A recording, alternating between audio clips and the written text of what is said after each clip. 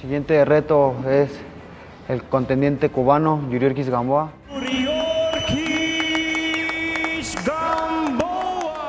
Un experimentado contrincante, un experimentado boxeador con bastante lona recorrida tanto en el terreno amateur como en el terreno profesional. Ha sido campeón mundial, ha tenido muy buenas peleas. Otro nuevo reto duro, con una importancia igual de, de buena, un reto fuerte, no imposible.